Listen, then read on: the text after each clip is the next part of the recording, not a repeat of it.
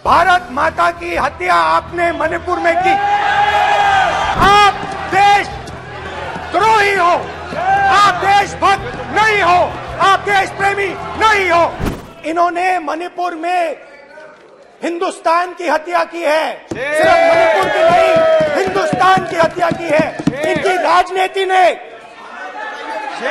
मणिपुर को नहीं, हिंदुस्तान को मणिपुर में मारा है।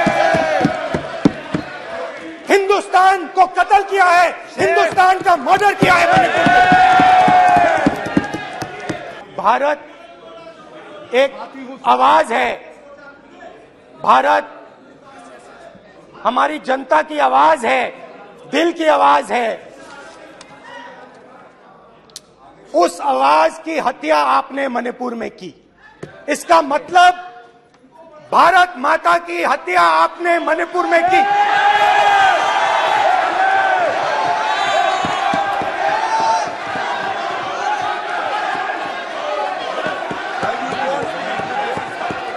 भारत माता को आपने मणिपुर के लोगों के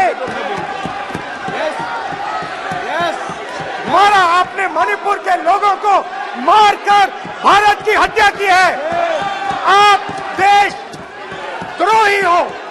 आप देशभक्त नहीं हो। आप देश प्रेमी नहीं हो। आप देश द्रोही हो। आपने देश की हत्या मणिपुर में की।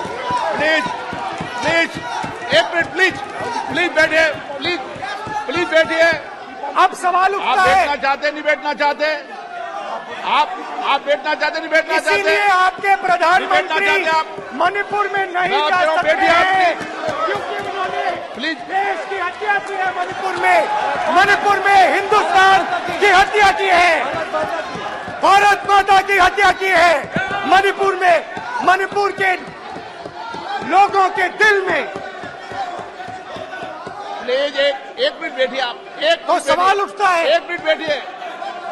एक मिनट आप भी आप भी विराजे आप भी विराजे आप भी विराजो आप भी विराजो। आप आप बैठिए सही। नहीं बैठिए रहने दो आप चलो। आप बैठिए बैठिए आप प्लीज़ बैठिए आप प्लीज़ आप बोल रहे फिर। आप भारत माता के रखवाले नहीं हो। आप भारत माता के हत्यारे हो। प्लीज़ माननीय सदस्य प्लीज़ प्लीज़ सदस्य please please please please please please देखिए मान्य सदस्यगण प्लीज़ प्लीज़ मान्य सदस्यगण, भारत महामारी हमारी माँ है।